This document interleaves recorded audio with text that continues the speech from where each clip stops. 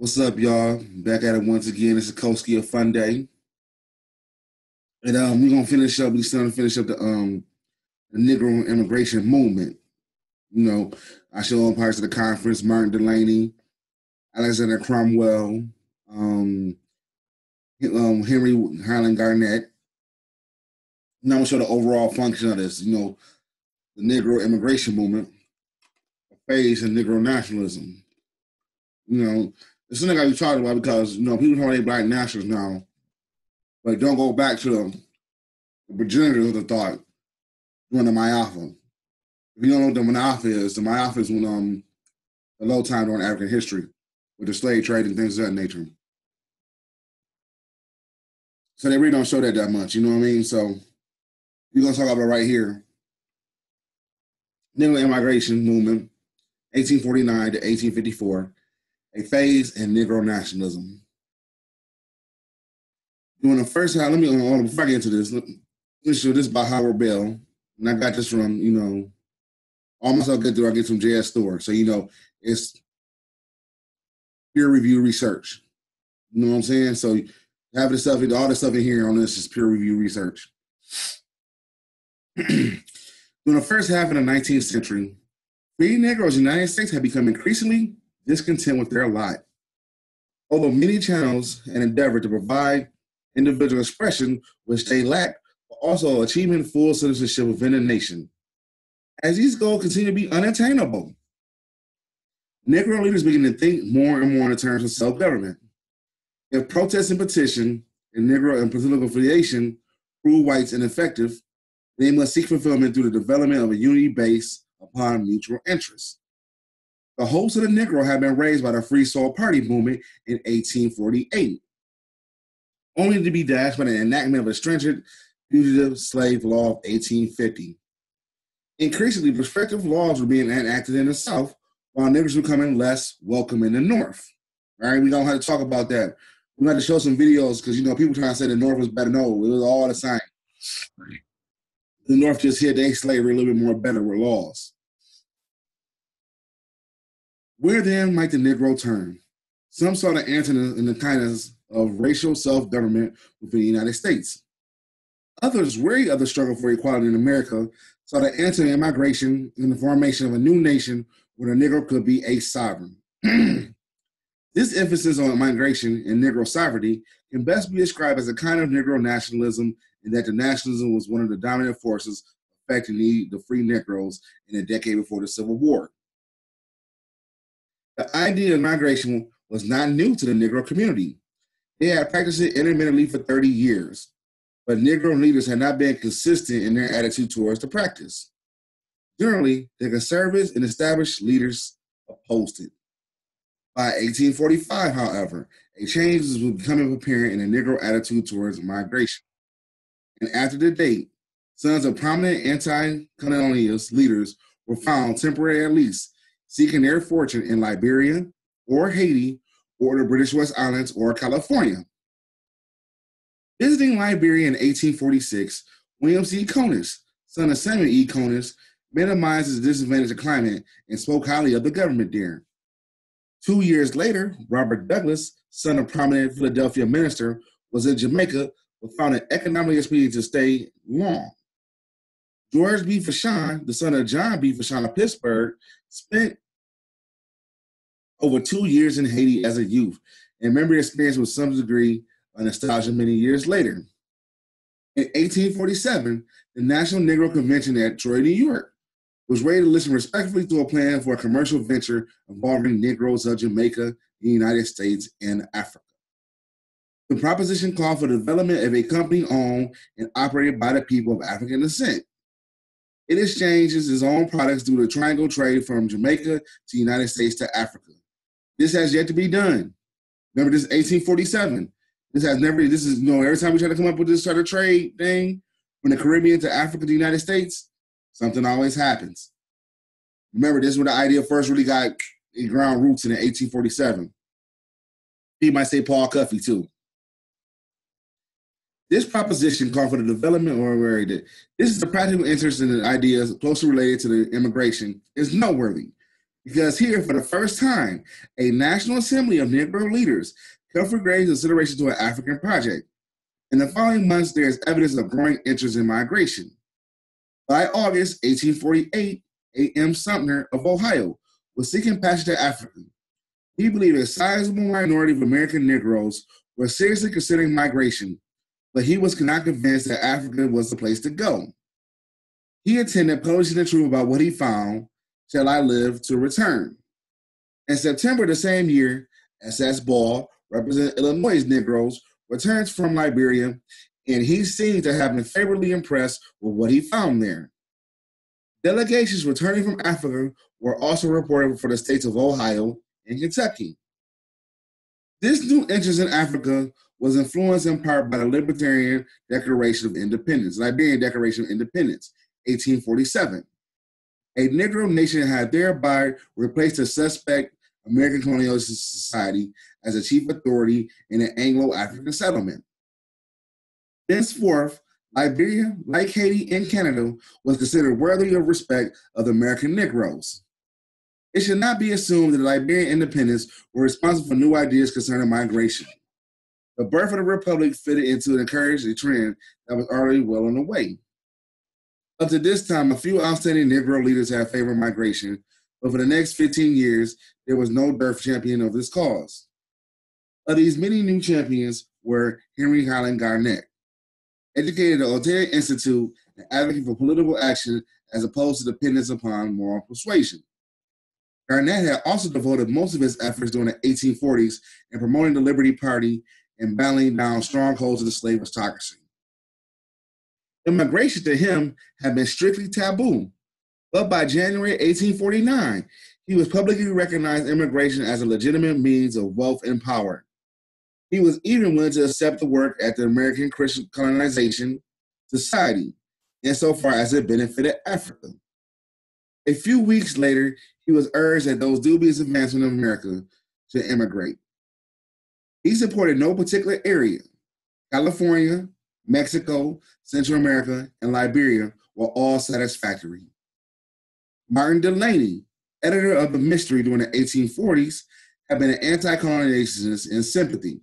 But by 1849, he too was glad to see an independent Negro nation in Africa. As of later 1851, however, Delaney was still clinging to the belief that the American Negro should not be lured away to such lands beyond the bounds of the United States, not even to Canada. But in the spring of 1852, he had come forth with a fully developed plan for a colored empire in the Caribbean Sea area. But Martin had a plan for a Negro empire in the Caribbean area. And for a decade and more after, he devoted his chief efforts to encouraging Negro migration and Negro nationalism, which in his estimates went hand in hand. It was not until he turned away his immigration screens for an officer uniform in the Union Army that he was once once reconciled, temporarily at least, to living in the land of his birth. Meantime, he, like Garnet, had spent some of those years as a migrant. Two other men had been active in the Liberty Party circles during the 1840s, transferred their activities to foreign soil in 1851. Unlike Garnet and Delany, however, they did not return to the United States for any significant length of time. Samuel R. Ward, editor of the National Watchman and later the Impartial Citizen, immigrated to Canada, where he established a third newspaper, the Provincial Freeman. Later in the decade, he moved to Jamaica, where he died shortly before the opening of the American Civil War. Henry Beebe, poorly educated but a man of ability and commanding and bearing, proceeded toward to Canada, and by a few months established the Voices of the Fugitive, which he edited in time of his death in 1854. Warren and Beebe were fugitive slaves, and the Fugitive Slaves Law of 1850 had been credited with driving them beyond the borders of the United States. But the law was not wholly responsible since the rapidly growing Negro settlements in Canada were challenging to men accustomed to making a life by the pen and voice.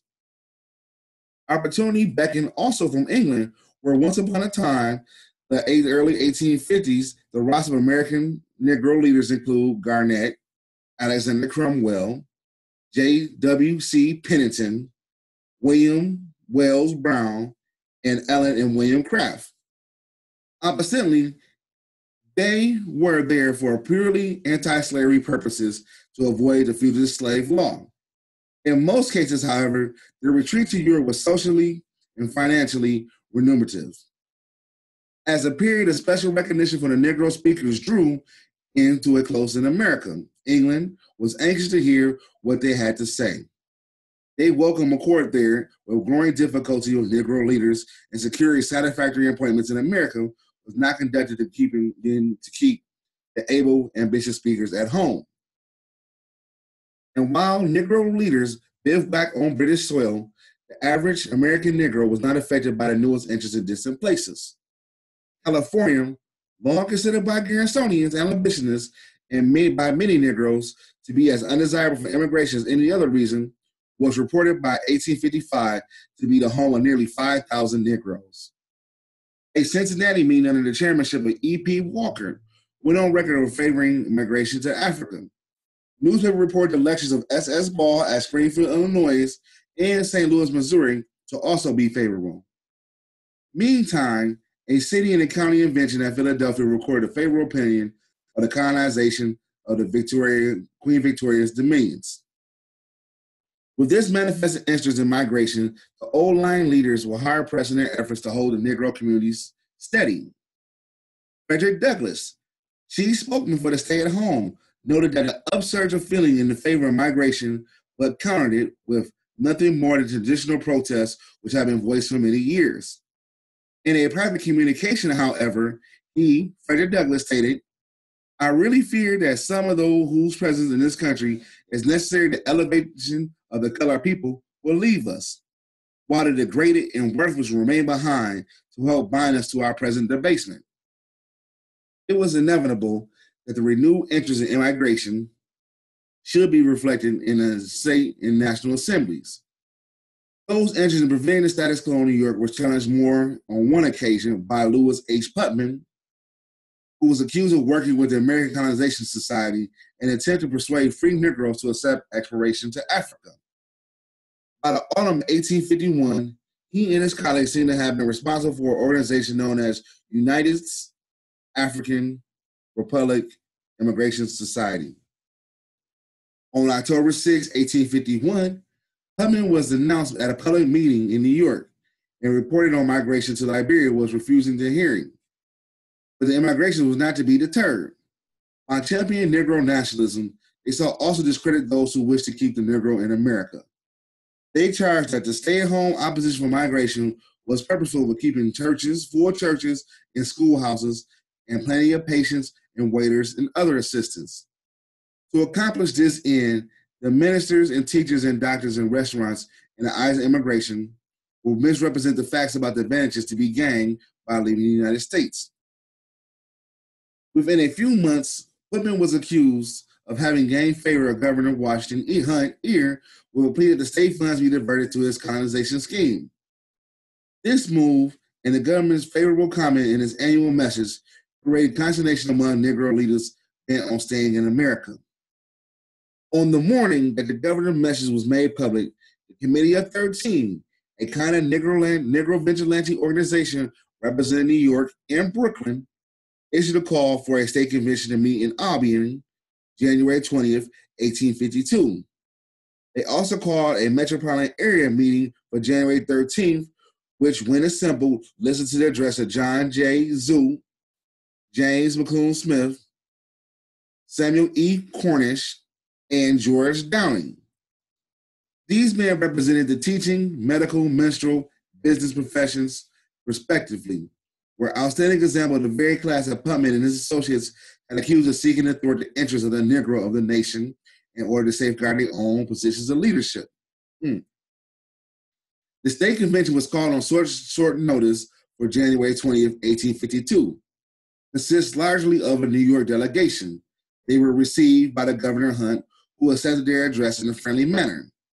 He was reported to have favorably impressed upon their arguments that the Negroes did not wish to leave their brethren in bondage and that the colonial scheme was a fraud.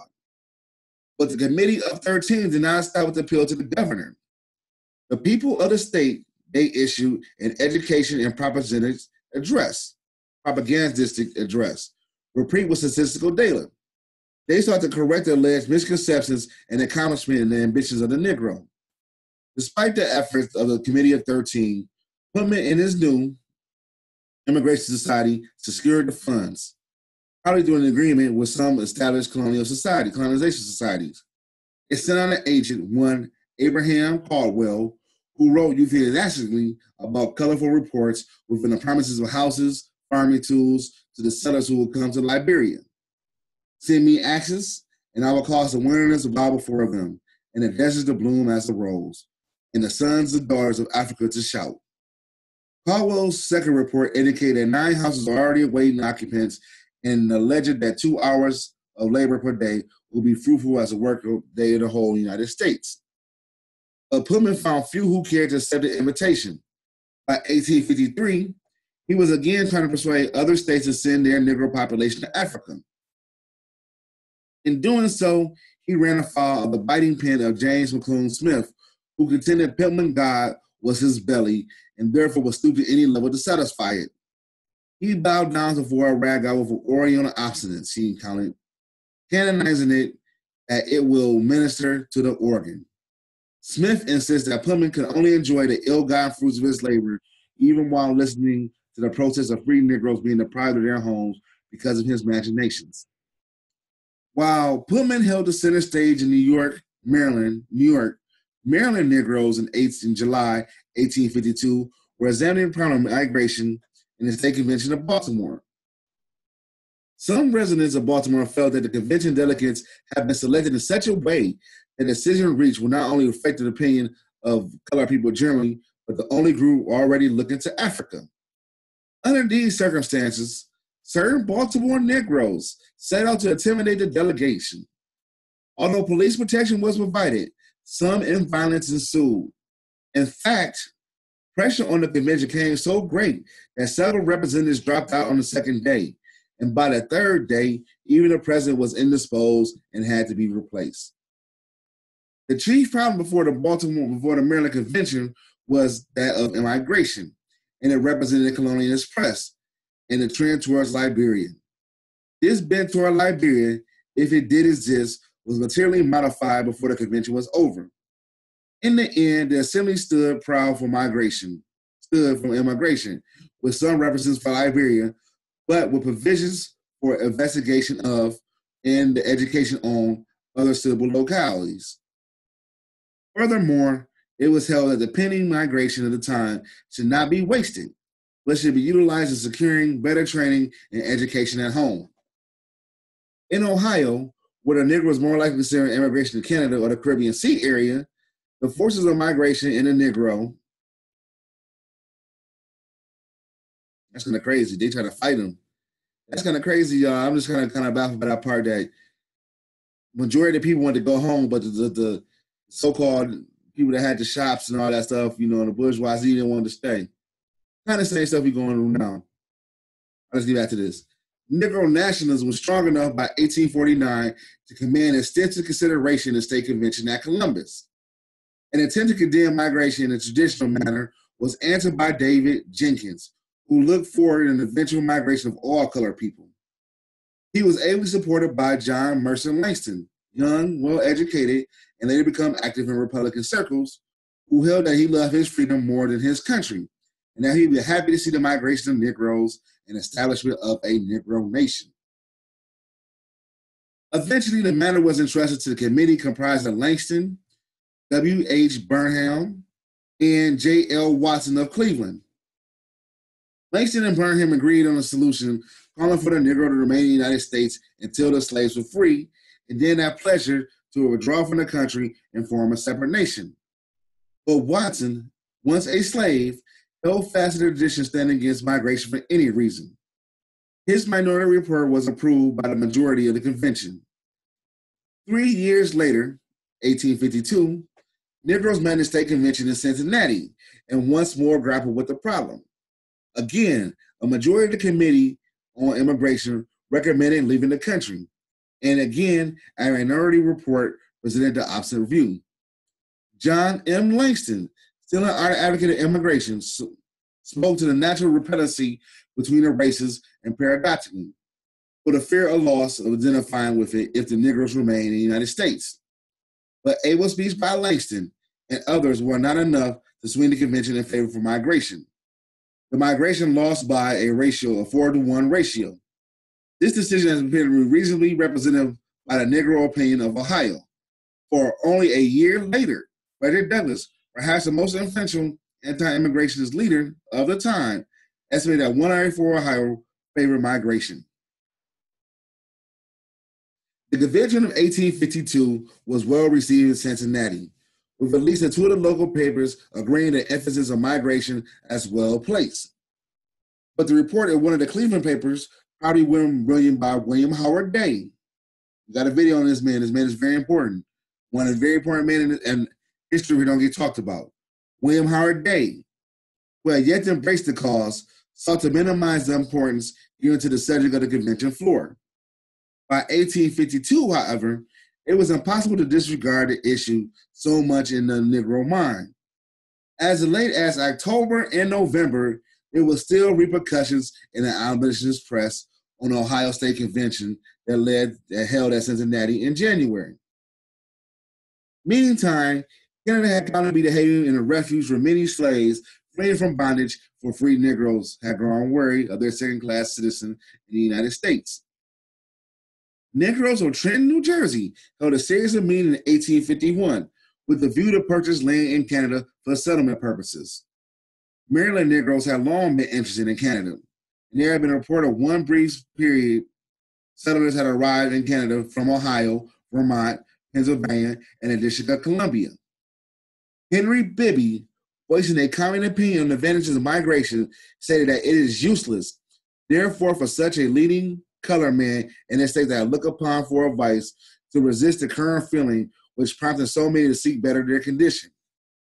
Bibby himself was serving a cause of migration effectively through the volume columns of his newspaper, and not only a few months of establishing the voice of the fugitive, he's creating a call for the North American Convention to meet in Toronto, mm. Including the call and invitation of Negroes to the United States to come to Canada. When, when assembled on September 9th, 1851, the Toronto Convention considered a plan presented by James T. Holly of Vermont, later prominent in the Haitian migration movement, immigration movement. Hawley plan invests a North America and a Western Indian Federal Agricultural Union, with the provisions of cooperative purchases and distributed land in areas listed in the cash title. Thus, the land acquired could be sold on easy terms for cash as needed for the individual settler might dictate. A second Canadian convention, which was held at Amherstburg in 1853, also invited United States Negroes to cross the border to the land of freedom. They held that the American Negro owed no loyalty to the United States and that migration did not take place, revolution would. That if Canada was not an acceptable haven for them, then Haiti beckoned. By this time, 1853, a climax was approaching. Migration is feeling that had been pronounced since 1849 and was motivated variously by a desire for economic opportunity and for the venture for uh, for personal safety or for social advantage, whatever the specific motive. The feeling was often accompanied by a strong desire to be rid of second class citizenship. And almost as often as accompanied by the kind of Negro nationalism which refused to accept plans presented by whites for migration and colonization of Negro, but encouraged pl- plans for the immigration, establishing new homes and perhaps a new government under Negro leadership. Under these circumstances, those leaders were anxious to keep the Negro community stably stable faced among strong opposition. They were influenced, moreover, by the same abuses which led their opponents to seek relief in migration. They saw the same fulfillment and desire for the recognition of self expression. They felt the same stirrings of Negro nationalism, but they offered a different solution. Meeting at a national enclave at Rochester, New York, immediately following the Canadian Convention of 1853, these established leaders of the Negro Society made plans to set up a Negro National Council, was super, was, with superatory authority over a Negro National College, a Negro National Arbitration Committee, and a Negro National Consumers Union, a Negro National Trade and Labor Office, and a Negro National Library and Propaganda Headquarters.